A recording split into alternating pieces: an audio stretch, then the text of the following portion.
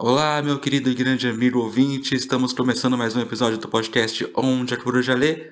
Hoje é um episódio especial, não vamos traçar sobre um texto, nem sobre dois, mas sim sobre três contos especialíssimos de um dos nossos principais autores da literatura brasileira, Machado de Assis. Vamos falar sobre o Homem Célebre, o Espelho e a Causa Secreta. Antes, vamos lembrar um pouquinho do peso que tem esse nome, Machado de Assis, para a literatura brasileira. A gente está falando muito possivelmente de um dos principais, se não o maior autor em textos em prosa da literatura brasileira. A gente está falando de um autor que nasceu em 1839 no Rio de Janeiro e também no Rio de Janeiro faleceu em 1908. A gente fala de um autor que é filho de um pintor, ele também é filho de uma lavadeira portuguesa. Fato curioso para a época, pai e mãe de Machado de Assis sabiam ler e escrever, um fato que é muito raro para uma sociedade que, quando Machado de Assis completava 40 anos, tinha cerca de 78% da população analfabeta. A gente está falando também de um autor realista, dentre os autores do que a gente chama de escola literária do realismo brasileiro, que não só é importante como autor, mas é importante para essa denominação, porque ele foi autor do livro que, de certa forma, abriu as portas para o realismo brasileiro, que é Memórias Póstumas de Brás Cubas, tido como o marco inaugural do realismo brasileiro, publicado em 1881. Machado de Assis, além de tudo isso, foi membro fundador e primeiro presidente da Academia Brasileira de Letras. Ele foi um autor muito celebrado ainda em vida e sua grandeza foi reconhecida em vida. Fato que também é muito importante a gente levar em consideração, que é raro para a literatura brasileira, principalmente quando a gente fala de século XIX e século XX. Bom, a gente está falando de Machado de Assis, Rodolfo. Como a gente pode pensar a escrita de Machado de Assis em relação à sociedade brasileira daquele período e as transformações que essa sociedade estava vivendo? Oi, queridos amigos ouvintes. Olá, Juliano. Espero que estejam todos bem.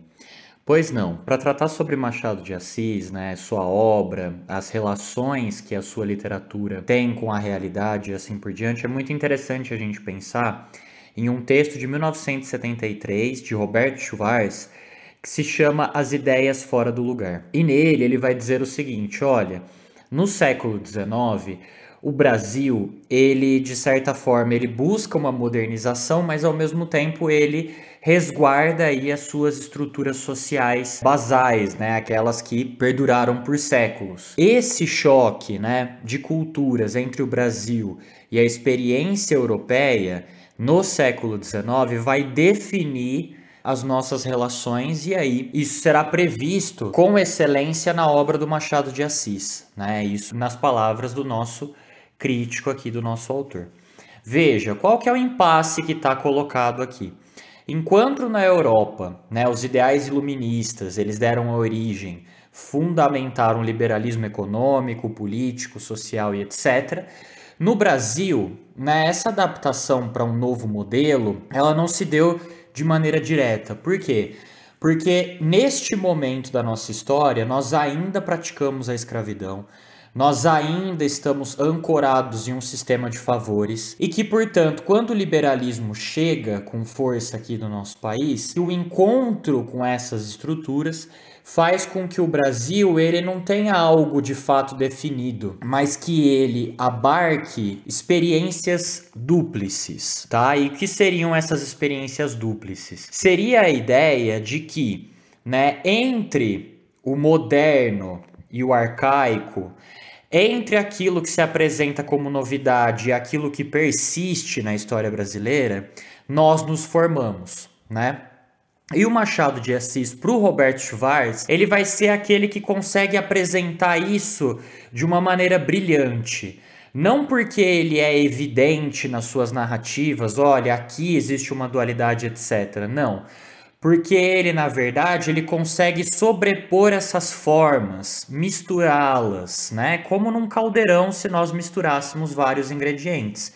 E é a partir da percepção dessa mistura que o Machado vai mostrar não de maneira evidente, mas de maneira indireta, como, né, o Brasil assim como outros países do mundo, né, que têm experiências parecidas, como a Rússia e etc., ele revela aquilo que há de mais problemático, podemos dizer, na experiência burguesa. Por quê? Sobretudo porque a gente está falando de uma burguesia ancorada em um país subdesenvolvido, com escravidão, com sistemas econômicos que desfavorecem os pobres. Né, e valorizam os senhores de engenho e assim por diante. Veja, séculos de exploração que não vão se resolver do dia para a noite, né? É, o Brasil era uma colônia certo? E esse, essa percepção machadiana, né, dessas experiências dúplices, desse Brasil que está entre o liberalismo e a escravidão, que no discurso busca ser engajado, mas que na prática não o é, né, ele vai revelar um contraponto com a nossa literatura anterior. Por quê? Porque a nossa literatura anterior, sendo né, romântica, sendo, vamos dizer assim, preocupada com os ideais de pátria, etc. A do Machado, ela vai ter mais os pés no chão, vamos dizer assim, e vai mostrar principalmente os entraves da formação desse nosso país, né? Então é muito importante pensar que essas ideias fora do lugar, então que o Roberto Schwartz destaca, né, quer dizer, esse escopo, né, essa, essa ideologia nova que vem ao Brasil e aqui encontra né, uma, uma diversidade e uma resistência das estruturas arcaicas, né, ela vai, de certa forma, fazer com que, por meio da ruptura, né, a gente consiga perceber o que está no entremeio das nossas relações, na penumbra. E o Machado será um mestre nesse sentido. Eu acho que é legal, né, Ju? Os exemplos que a gente trouxe, eles são bastante interessantes para revelar essa realidade, né? E para mostrar como é essa teoria que a gente se pauta do Schwartz, ela é bastante visível na obra do Machado, você concorda? Exatamente, Rodis. Bom, então vamos aos textos, né? Vamos começar falando aqui do primeiro texto que a gente selecionou para esse episódio, que é Um Homem Célebre, que foi publicado pela primeira vez no jornal A Estação e depois foi republicado como parte de um livro chamado Várias Histórias, no ano de 1896. Esse conto vai narrar um pouquinho aí a história de um compositor de música popular chamado Pestana, que sonhava na verdade se tornar um grande produtor de música clássica, erudita. No entanto, mesmo ele tendo muito estudo, muita vontade, muita dedicação, quando ele senta para escrever uma música, acontecem duas coisas: ou ele acaba escrevendo uma cópia de uma música erudita que ele já tinha ouvido, ou depois de um processo bastante efusivo, bastante alegre para ele, ele percebe que, aquilo que ele escreveu na verdade não era uma música erudita, era uma polka. E aí esse processo vai se arrastando durante toda a vida dele, ele se torna um grande compositor de polkas, reconhecido publicamente, mas ele percebe que não é isso que ele quer. Pouco tempo depois ele começa aí a ter um relacionamento, ele se casa com uma moça, só que essa moça é bastante doente. E mesmo a morte dessa esposa dele pouco tempo depois, mesmo essa morte não foi capaz aí de fazer ele escrever algo senão poucas. Ele passou um ano após a morte dela sentado escrevendo um hacking para a esposa dele. Só que esse hacking nunca saiu, não foi concluído. Ele passa um tempo aí, né, depois disso, sem escrever canções, e ele depois, já com muita dificuldade financeira, e aí ele se entrega, né, às poucas até a sua morte, que é o momento aí em que se encerra o nosso conto. Uma coisa que a gente tem que prestar bastante atenção nesse conto é nesse contraste que tem aí, né, entre cultura erudita, representada aqui pelas composições, pelos, pelas sonatas, pelos hackings, e a cultura popular, representada pelas polcas, representada pelos machiches, representada aí também pelas quadrilhas, né, que eram festas bastante populares daquele período, e pensar um pouquinho como isso se mostra aqui nesse texto. A gente tem o Pestana, né, que é um compositor de polcas que quer, quer porque quer escrever músicas eruditas, quer escrever uh, óperas, quer escrever sonatas. E esse embate aí entre cultura erudita e cultura popular, o que mostraria um pouquinho aí dessa relação entre civilização, progresso e atraso, barbárie dentro da visão do Pestana, obviamente, é algo que vai mover bastante esse aspecto crítico do Machado de Assis. Veja bem, o Pestana ele tem o desejo de ascender, mesmo que artificialmente, aí, a uma forma de arte mais elevada para os padrões do Pestana. Só que esse avanço, a gente precisa dizer aqui, é uma tentativa artificial, porque no final de tudo, aquilo que o nosso Pestana tem a oferecer são somente as polcas, são somente as músicas populares. Ele não consegue trazer algo senão aquilo que é popular. E isso é bastante significativo para a gente entender a crítica que Machado de Assis faz a essa relação entre progresso e atraso até dentro da sociedade, da cultura brasileira do seu período. Outra coisa que a gente precisa levar em consideração aqui é que o Machado de Assis ele tem um humor bastante ácido. Ele brinca bastante com os símbolos de cultura popular, cultura erudita, coloca eles até em delírio em determinado momento na cabeça do Pestana, e no final do conto, na morte aí do Pestana, ele vai trazer um pouquinho dessa brincadeira aí em relação ao contexto político da época. E o Pestana, ele vai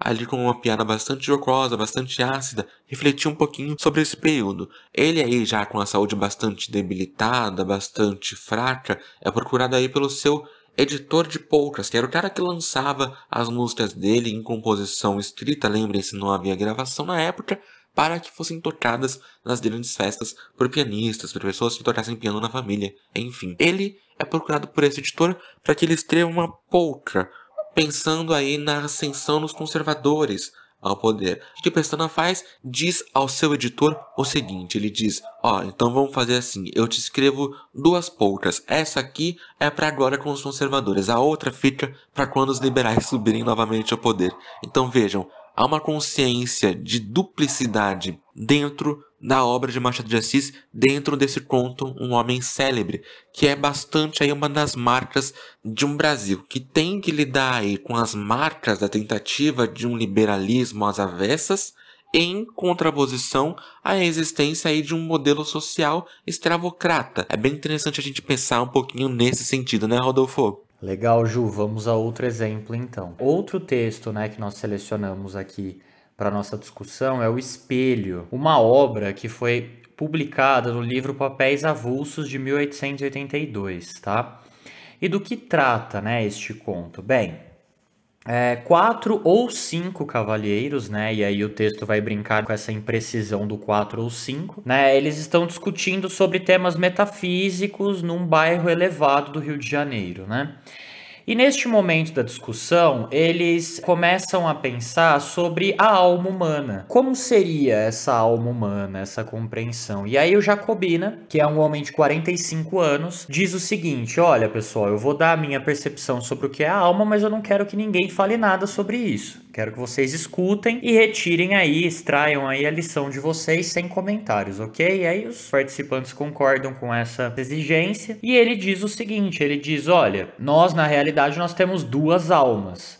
Duas almas, duplicidade brasileira, experiência dúplice, acho que está bem visível aqui, né? E ele diz: uma alma é a alma interna, daquilo que nós somos na essência, vamos dizer assim, daquilo que nos constitui enquanto indivíduos e uma alma externa, que pode ser até mesmo um botão de camisa, né? Quer dizer, aquilo que nos veste, que nos representa não só aos olhos dos outros, mas alimenta a nossa percepção sobre nós mesmos, né? E aí para ilustrar essa sua teoria, ele vai contar para os participantes do debate sobre a sua vida pregressa, né? Ele retorna aos 25 anos quando ele se tornou alferes da Guarda Nacional, né? Um cargo de destaque, inclusive para um jovem, né? E a tia Marcolina, né, uma parente, ela diz o seguinte: olha, vem ao meu sítio que eu quero recebê-lo agora. Né, como alferes. E ele vai ao sítio, o sítio é um sítio bastante é, ancorado nas tradições escravocratas, né, com a presença de escravos e outros agregados ali que compunham o cenário. E a tia é, lhe oferta um espelho, que era um espelho da época do Império, em que ele poderia se observar na magnitude agora do seu novo cargo, né? Bem, em determinado momento da narrativa, a tia decide partir em uma viagem, né? E aí outros grupos da casa ali acabam também aderindo a, a, viagens e assim por diante. Quem sobrou foram os escravos, que elogiavam muito Jacobina, só que ele, ingenuamente, sem perceber, né, é, reconhece aos poucos que esses elogios, na verdade, eram uma tentativa de amaciá-lo para que os escravos pudessem fugir, né? É um fato que acontece na narrativa. Eles fogem. E aí o Jacobina, ele se vê sozinho no sítio. Neste momento que ele se vê sozinho, despido de olhares externos, ele se olha no espelho e não se encontra. Ele começa a se perder na solidão inclusive porque a alma interna dele não consegue se identificar com aquela realidade, né? Ela se vê desnuda daquela realidade que o cercava, das condições escravocratas, né, dos sistemas de favores, né, daquilo que lhe era dado pelo cargo que ele conseguiu. E aí, para passar o resto dos dias de solidão ali no sítio, enquanto ninguém retornava, ele decide todos os dias vestir a roupa de alferes, sentar diante do espelho e apreciar a sua alma externa. Veja, o Jacobina, ele vai então defender a tese de que nós não nos completamos, não somos completos somente por aquilo que nos forma, mas também por aquilo que nós apresentamos ou que nós acreditamos que somos aos olhos dos outros e até mesmo aos nossos diante de um espelho, né? Olha só que interessante, né? Todas essas relações da sociedade brasileira, do sistema de favores, da escravidão, da ideia do liberalismo, do indivíduo complexo e livre, né? Todas elas entram em conflito em meio a essa questão do que é ser humano, né? Do que é a existência. E aí, quando todos estão absortos, né? Quando todos estão deslumbrados com a história, o nosso narrador diz que né, o contador de histórias já havia descido as escadas, né? Quer dizer, até nós leitores, né, acompanhando essa história, nós chegamos ao limiar do que é ser brasileiro, por assim dizer, né? De como essa experiência dúplice ela está nos formando, né? Seja o que nós somos, né, as nossas origens, ou aquilo que nós aceitamos como transformação dentro desses processos, ora escravocratas, ora liberais, ora favoráveis, ora desfavoráveis, né?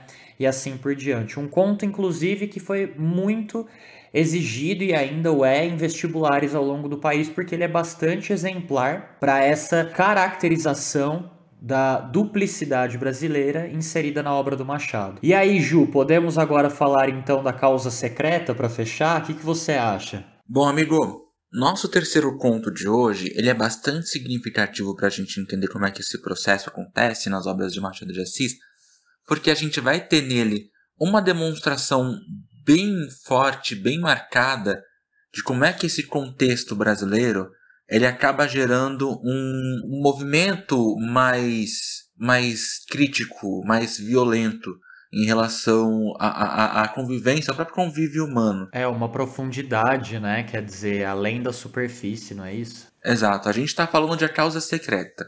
O conto A Causa Secreta, ele também foi publicado no livro Várias Histórias, publicado em 1896, como eu falei anteriormente. Bom, vamos pegar primeiro a primeira cena do nosso conto. Que é bem legal, né? Exato. Ele começa no meio da ação. A gente tem ali Garcia, um médico recém-formado, Fortunato, um homem bastante misterioso, e a Maria Luísa, que é a esposa de Fortunato. E os três se encontram numa cena que, para bom leitor, é um prato cheio para nossa torta de climão.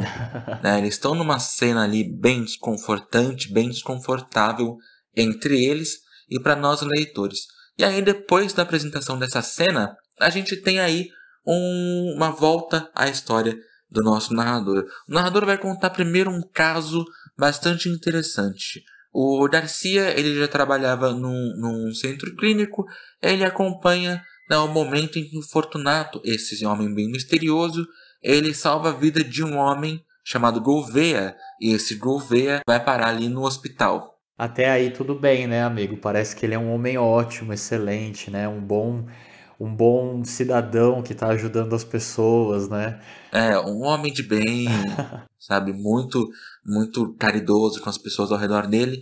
Bom, esse homem, o Gouveia, né? Depois que ele sair do hospital, ele vai buscar ele ter um resício de gratidão, né? Com o Fortunato. Fazer uma visita, um, um agrado, algo ali positivo para o Fortunato. É uma surpresa bastante chocante, né? Para o nosso querido Gouveia quando ele, ao fazer essa visita ao Fortunato, percebe que ele não é uma pessoa lá muito bacana, não é muito das boas. Ele recebe uma resposta bastante fria, seca e por vezes até irônica do Fortunato. Ele começa a fazer uma piada sobre o estado de saúde do Rovea, que foi é, salvo por ele. Só acaba deixando Garcia bastante atento por um tempo, mas depois eles perdem um laço e aí bastante tempo se passa.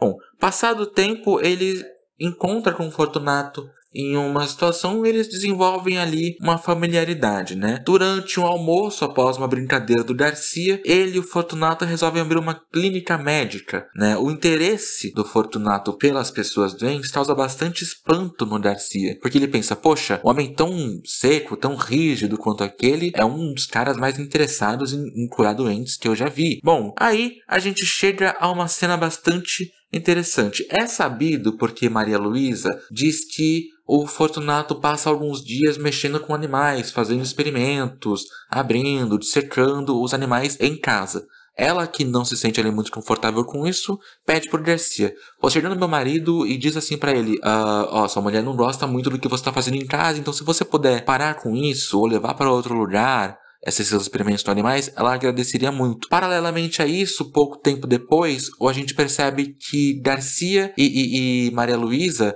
não é algo muito bem recíproco. Mas o Garcia ele tem um certo interesse, ele vai começando a criar um interesse amoroso por aquela mulher. Esse que a gente chega na cena que é a mais importante aí. Ah, amigo, posso contar essa cena? Vai, por favor, só porque eu acho ela incrível. Posso falar dela?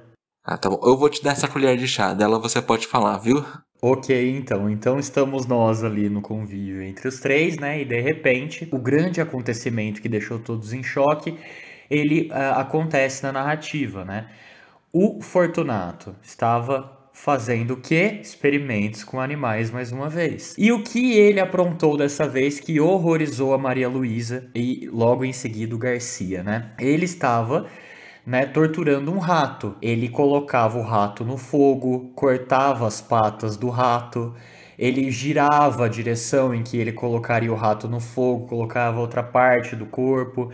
E essa tortura, ela vem sendo descrita pelo Machado brilhantemente, né, nos mínimos detalhes, o que horroriza também o leitor diante daquele acontecimento, né? Bem, aí então passamos à cena em que os três estão chocados.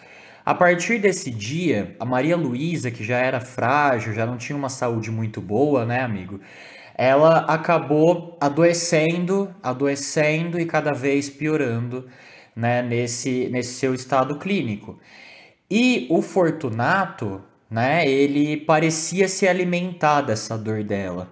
O Garcia, por outro lado, né, Ju, como você bem disse, ele estava se apaixonando cada vez mais pela mulher do amigo, pela Maria Luísa, apesar de saber que seria impossível estar com ela, né?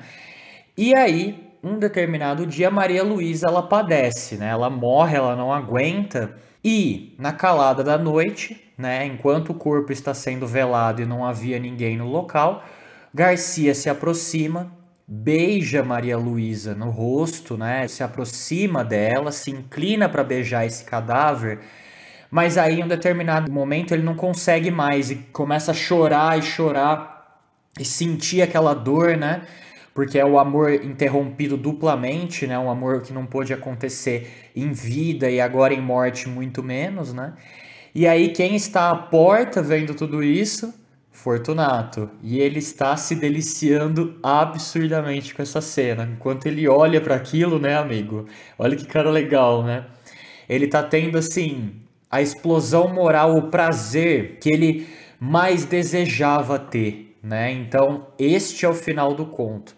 Fortunato, feliz de ver aquele sofrimento ali em cena. Amigo, dá para tirar muita coisa disso, né? Inclusive do próprio título, porque a causa secreta, né? O próprio título ele já traz um ar de mistério, não acha? Antes uma observação, acho que é bem interessante de Machado de Assis, que é o autor que criou um romance escrito por um morto. Uhum. Ele queria a primeira furada de olho póstuma, né? É verdade. é, uma furada de olho às avessas, né? Porque quem sofre é o, é o fura-olho e não o que tá sofrendo. Enfim, né? Meio confuso, mas deu pra entender. é. Bom, tem duas linhas teóricas bem definidas, mas ali sim com algumas contradições. Em especial, uma delas é muito contraditória Verdade. se a gente for parar para pensar no que se diz a respeito desse conto. Bom, é uma linha teórica que pensa A Causa Secreta e que pensa esse período histórico como sendo um reflexo ali da crueldade humana. O que, se a gente for parar para pensar, é um pouco problemático. Obviamente, a gente pode pensar, né? Porque há aqui muita crueldade. Não, quando a gente está falando de crueldade humana, a gente está expondo um valor que é um tanto solto na história. É verdade. Crueldade amigo. humana em relação ao quê?